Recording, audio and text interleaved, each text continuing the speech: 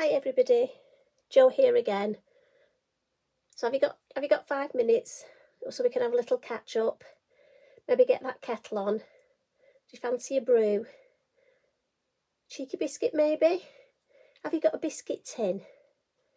Is that one of those things? Do you have one in your house? It's a bit like a button tin, isn't it? Have you got a button tin? I must admit I've got a lovely button tin. I think it's just something you have to have, isn't it? I mean, I use it for being creative, obviously for my cards. I don't know about sewing a button on. I mean, I've got a sewing box as well. Again, not very good at that. My sister was the one who always did the sewing. I can sew a button on, but to be fair, the last time I sewed a button on was actually on, on a card where I'd made a man's shirt. Hey ho, that's the sort of thing we do, isn't it? Here I am, rabbiting on again. So, how are you feeling? How's it been? I hope you had a good weekend.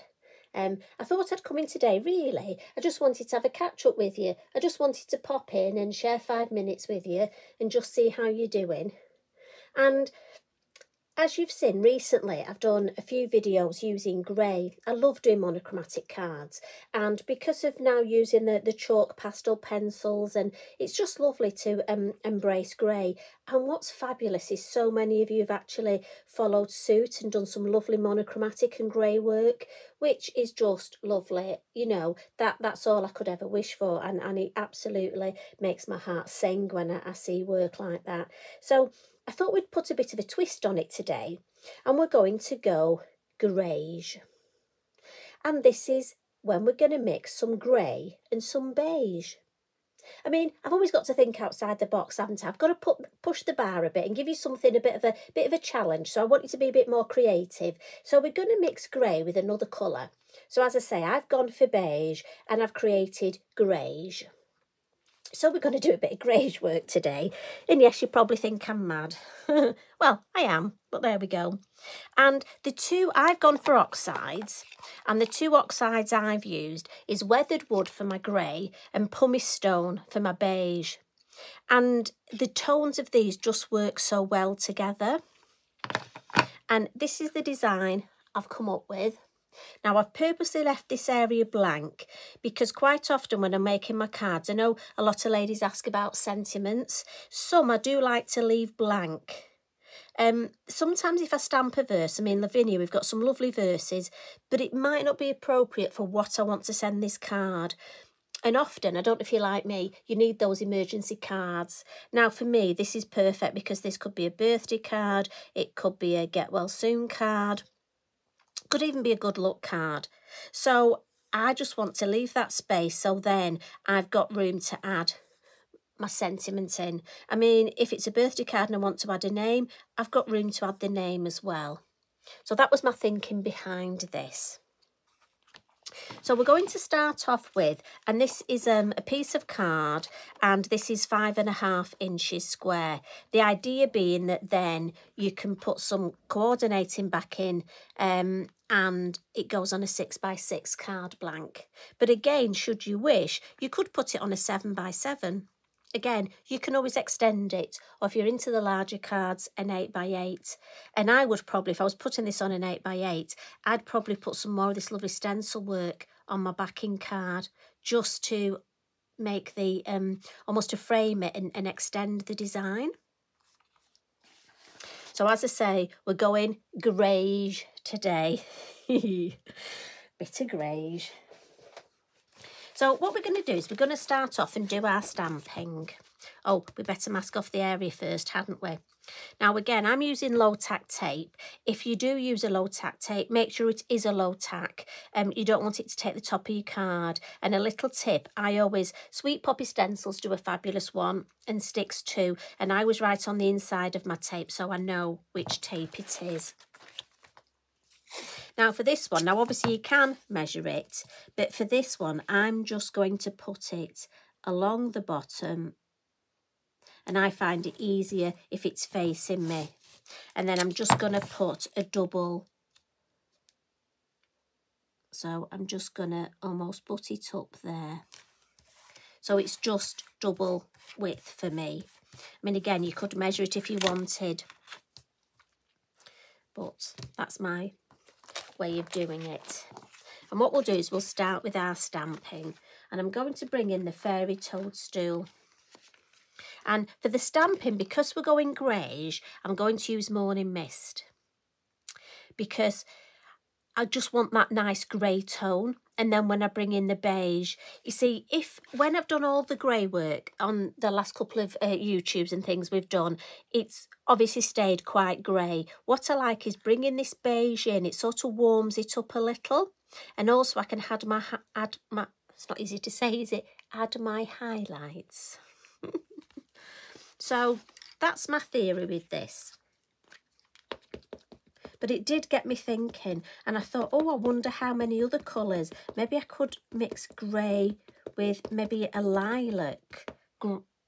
grey, lilac? Would that work? What about pink? You see, this is what happens. It gets my head thinking. And I'm thinking of all the things we can do. But often that's what we need as crafters because sometimes we get a bit, you know, when we find our mojo goes and we almost get a bit stale, it's nice to have something a bit fun and a bit different to do. So we'll stamp this lovely fairy toadstool and I just want to put it off centre slightly. And again, you know me by now, I have to do my stamping to the side. Now, your tape, although it's only got a little ledge, do make sure you press down hard there. Now we've got some lovely new subscribers and thank you to those who've subscribed recently. And a few of you have said that you're new to uh, crafting and stamping and um, that you're really enjoying the journey. And what hopefully comes over is that for me, whether you're a new crafter or whether you're a crafter who's been crafting for many years, often we need what I would class as quite a, a simple-ish design and there's nothing too technical here. But it's nice just sometimes to mix up your stamps, mix up your colours. And also, you know, it doesn't have to be too taxing. After all, we craft for enjoyment. So I think that's why I love coming up with just new designs and, and things that are a bit of fun because I do want to enjoy this. The, the whole process is all about enjoying ourselves. Now again, I made sure I pressed quite hard because as I say, there's only a little ridge there, but sometimes it doesn't stamp as well. Now, one thing to be aware of, we're using a VersaFine, so that's quite a slow drying ink. It's a permanent ink with beautiful fine detail but it will dry slower on here. So we need to be mindful of this and not catch it. Now I'm going to stamp Pippin next. Pippin seems to um, be in most of my designs. Now quite often a lot of us stamp Pippin at the top sitting on our toadstool which is lovely but for this I thought it would just um, almost would be better on a DL card so I'm just going to stamp Pippin at the base down here and again, I'm using grey for all my stamping. So again, I'm just going to ink him up. And again, it's lots of light tapping.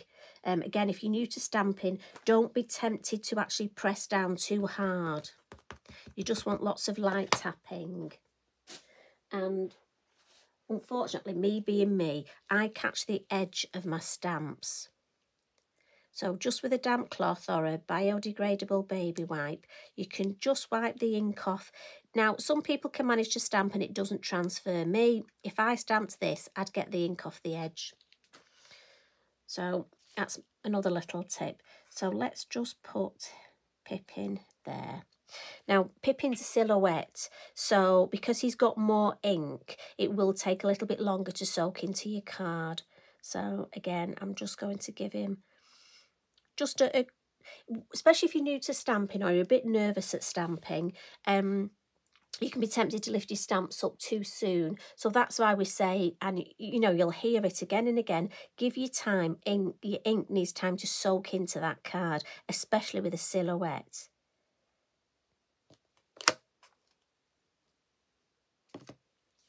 So what I want to do around him, I wanted to introduce the poppies. I love the poppies. And one of I've probably had this stamp set. It's a good I hate to say the word old, but it's a stamp set that's been around for a long time and it's called Group Poppies. Um, and I just love, I love the fact we get three, but the detail in these and poppies are just, I adore poppies. Now, one thing to remember with your stamps, you can obviously alter the neck slightly and when you put it on your block, so I want this poppy just facing that way a little bit.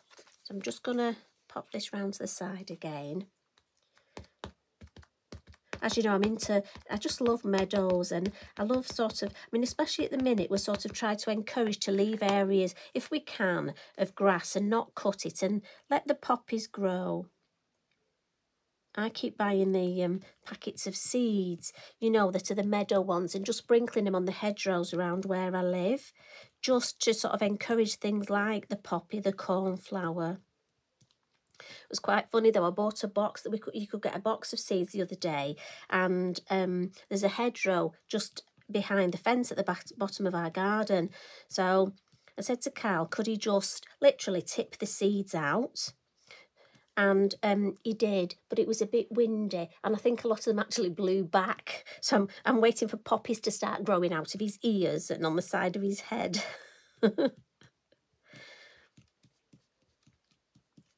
But I just think things like wild poppies and beautiful.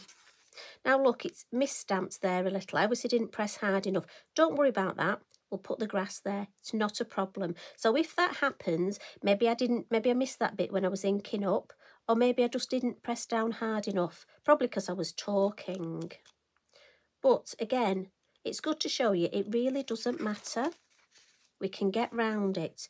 Don't panic over things like that. You know, we all have times when we misstamp. It can be for lots of reasons. So I've just changed the direction of the poppy and I'm going to put it over here. And again, for me, I've not done this exactly as the original one. I do find it very hard to do the same thing twice. But again, I think in composition, it's nice to not do anything exactly, just to alter it up a little. Now, do I have, I could put another one in there, couldn't I? Do you think that would look too much? Oh, maybe we could have the other. Let's get rid of that. And this one I think would look nice. Just, yeah. It's quite funny because even when I'm not recording, I do talk to myself in my craft room. And it's lovely to know that some of you talk back to me. It's nice that we can craft together. And again, if you've not got these poppy stamps, I'm sure you've got something that would be just as useful.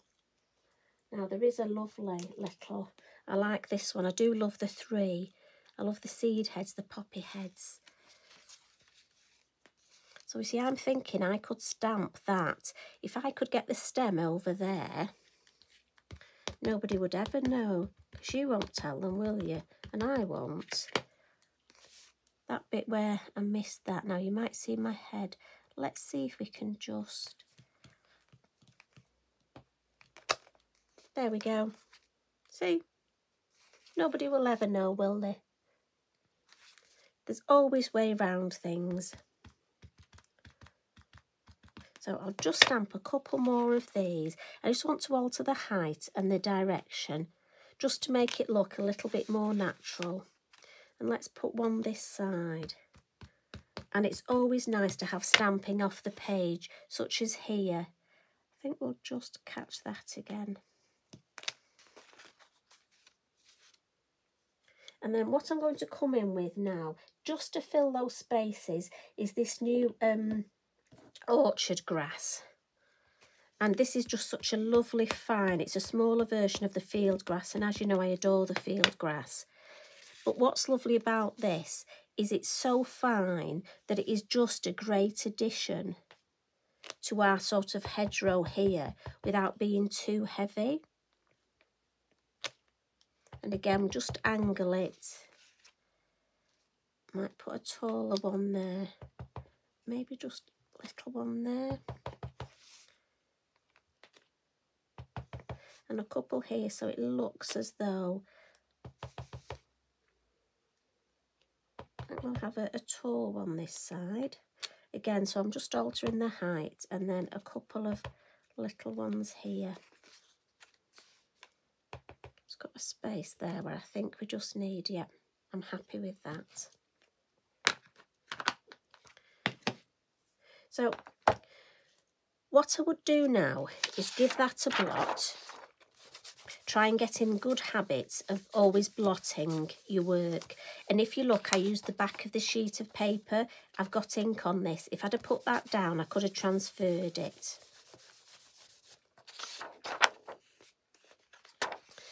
Now, the next thing I'm going to do is I'm going to add, so we've done our main stamping in the grey, in the morning mist. And we're going to add this lovely background and the stencil work. But because this, I know this ink won't dry as quickly on here, I'm actually going to take this masking tape off and add some clean masking tape. Now, um, I know you might think that it, it's a bit of a waste, but for me, I'd much rather do that than risk smudging that ink. Especially because I want to blend on here. So for me, I know if I was blending some of that ink, it's just it would move. Me being me, I know it would. Now, you could leave your design like that, but I just think that's a, a, a wee bit flat. And again, just, I know I've blotted it once, but I just want to make sure and give that another good blot. Now what I'm going to come in with is we've got the weathered wood and the pumice stone, but I want to bring, this is quite grey, and I want to bring this beige in to get our greige. So let's come in with pumice stone and I've just got a nice little stencil brush here. Now again, you can use a stencil brush, you could use a, smoothie, you could use a makeup um, brush, a makeup um, sponge. And we're just going to go on to the masking tape, which is why for me it was important to have a new piece of masking tape. And I'm just going to brush upwards. See, I think if I had ink on here, that would smudge. And if you notice, I'm just gripping the bristles here because I want it flatter.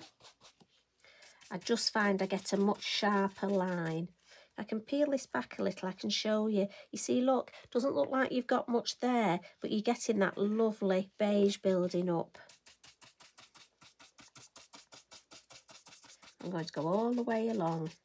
And I just want that beige, especially around the flowers here, the grasses, and around Pippin, and up the side. So when I've done that, going to add some more and I'm just going to come up the side here and I want to frame this a little. So across the corner, along the top and it's very much a flat motion so I'm doing this but quite quickly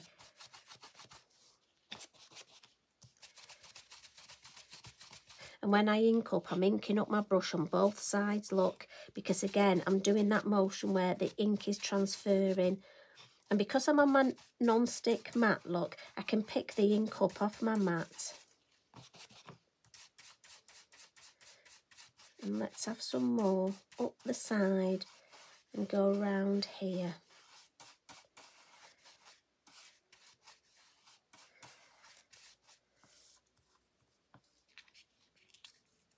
Just have a little peep. Yeah, I'm happy with that.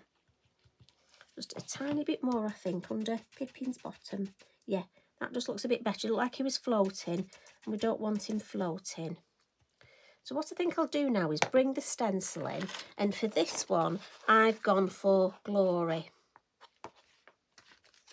And what I like about this is I just want to pick. So I want it to look like I've got a leaf coming down. I didn't want to do any more stamping. I thought it would be too heavy. And I just wanted this sort of wispy in the background. So I'm thinking that leaf there, look, is a lovely shape as though it's coming down here. So again, I'm just going to pinch my brush. Now, I won't get just this one sort of leaf shape. I may get a couple of these little, I love the, the, the circles in this, the bubbles. Now again, I can lift it up, look. Yeah, that's, that's lovely. Don't want it any harder than that, any deeper. So I want a nice one to come down this side. How about that one? I think that one will be nice. That'll be a nice shape there. So again, pinch my brush.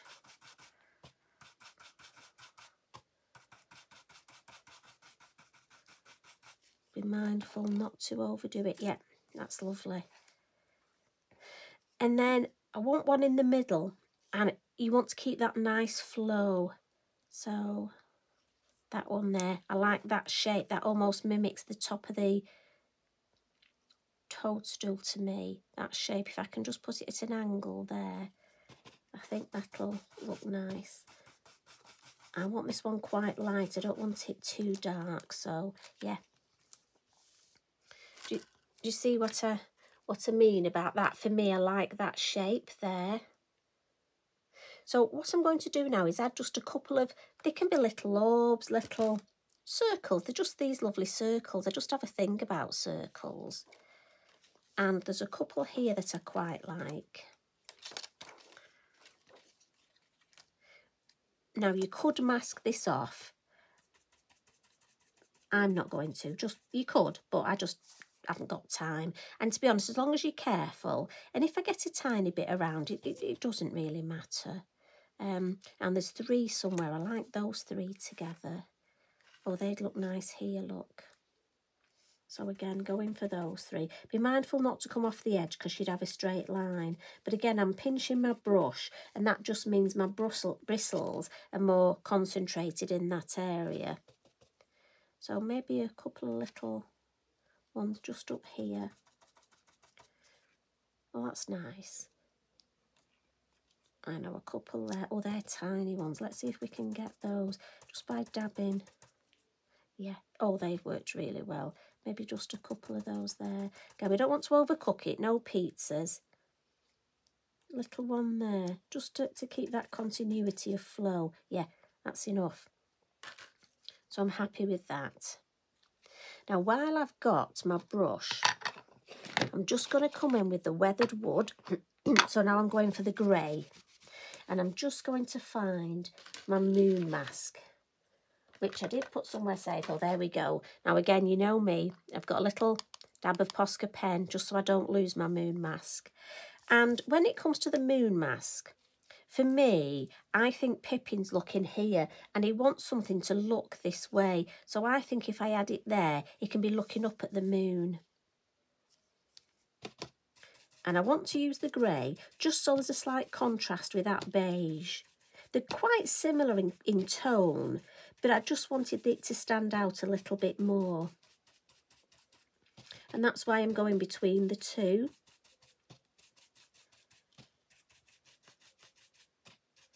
And again, always go on the mask first and brush, brush out.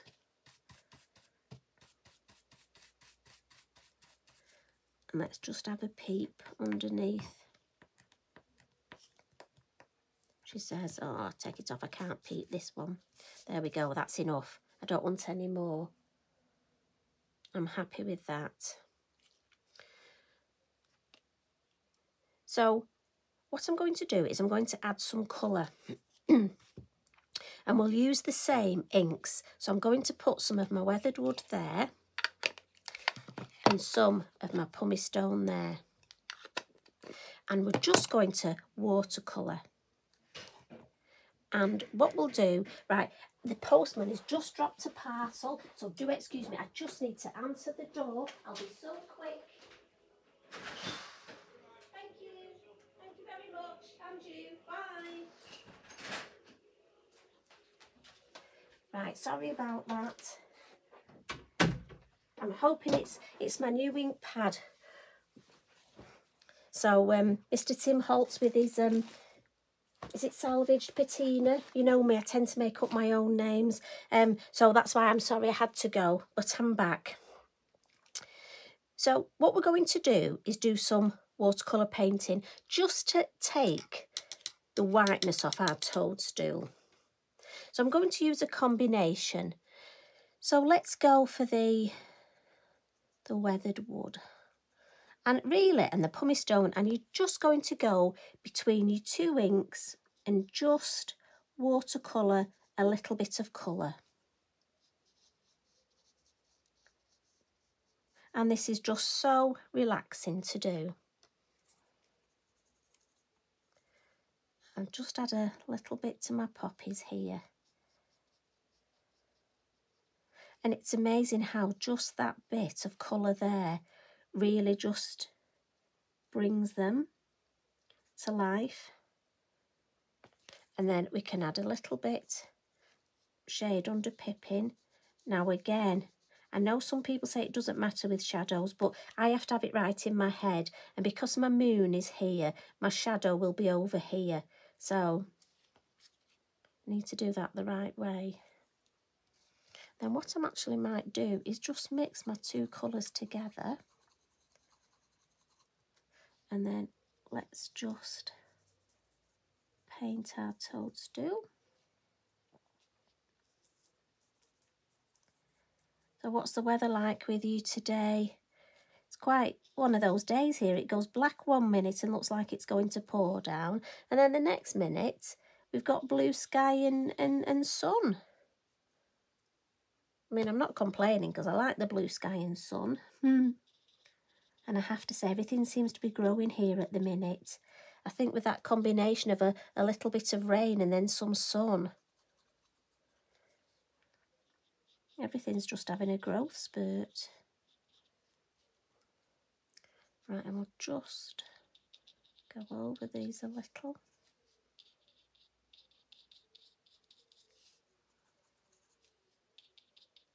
And it's like this I mean I know you can use watercolour paints you can use brushos for your painting but I just like to use the inks that I've got because then again you don't need a lot of supplies. For this we've used a, a grey VersaFine Clair ink pad and two oxide ink pads. And look what you've got. I mean I think that is just such a lovely lovely piece. Now what I will do is just with this ink on here I'm just going to get it with my paintbrush and just add a few more little, just some little splats. You know I like these. Just there, Pippin's looking up at those, look. And just in the background here. Don't overdo it, no pizzas, right, that's enough. Walk away, missus. I'm just going to wipe this now. I have to say, if you haven't got weathered wood and pumice stone, they are lovely colours. And I think sometimes almost like these paler colours, people ignore. And both colours on their own, you can make a lovely card. But for me, this combination, I just think is so pretty. Now, we've nearly finished. What I want to do is normally I would just let this dry at home. I've got to be honest, I'd go and make myself another brew but obviously, I've been a bit naughty and I've, I've answered my door, haven't I? So I can't leave you again while I go and make a brew. So what I'll do is I'll bring my heat tool in. Now, if you remember, the good thing about this is your heat tool will just unstick your low tack tape a little. So it's quite a good thing to do.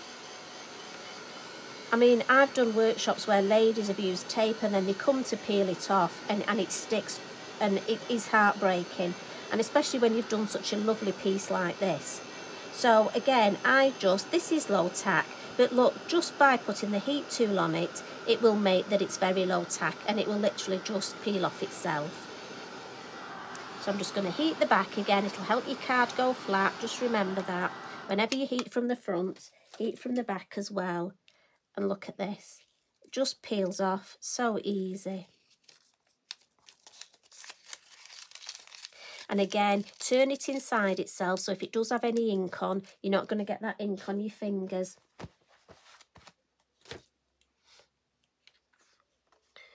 Now, you could leave this at this stage and I think it would be lovely left, but I just want to add a little bit more to it. And I'm going to come in with my clean colour. And the only reason I'm using this is it's a brush marker, water-based, so it, it, gives a nice um, brushed finish. Look, if I show you that brush marker, And this one's just light grey. It's a lovely colour. And it's just for me to add a little bit of shadow here, look. So underneath my toadstool, I'm going to have some shadow. And because my moon's this side, then this side will have the shadow. And again, under and that side. It's under here. And I'm just going to add and this one will be this side, won't it? The moon's there, so my shadow's under here. Just to keep that a little bit more there, and we can just put a little on here. Just adds that little bit. Um, I, I just think it's nice to have that. And I'm going to use my Stabilo. So these are the chalk pastel pencils. And again, these are by Stabilo. And I'm using, um, obviously, my grey and my beige. And this is just to add a little bit. So the grey, I'm just going to come in where I want a bit of depth. And because the chalk pastel, I'm just going to smudge it a little bit the amount I'm using here, I know a couple have asked about fixing. If I was doing a whole piece in them, I would use a spray fixative. But because I'm just adding little highlights and, and, and dark bits, some shadow, I just smudge it with my finger and that for me fixes it enough. And I just want to add a bit of depth here.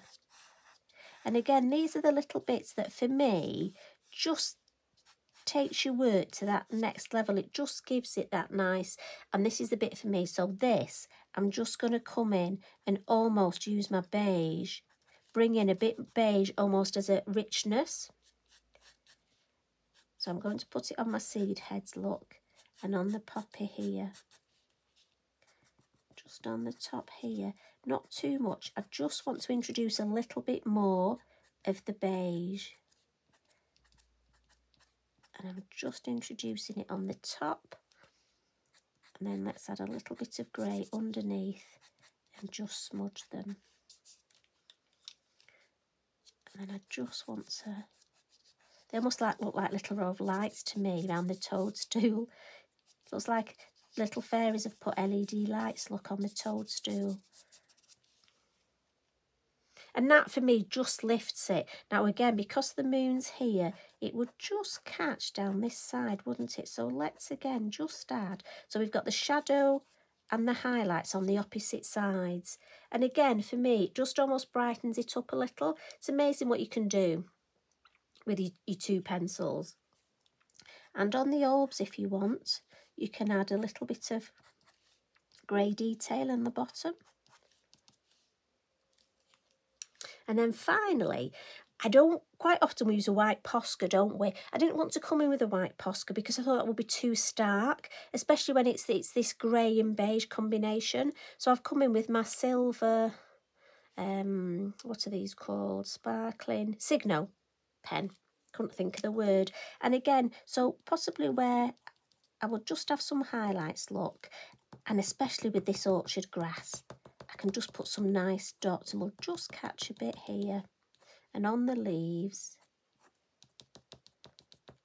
Again, I didn't want to add glitter for this one. I just felt I wanted to keep it. I mean, I have to say, you know, if you needed um, a sympathy card, often we struggle with sympathy cards. You could keep this in. It's nice to have the grey tone, but I think sometimes you do need, even with a sympathy card, a little bit of lightness.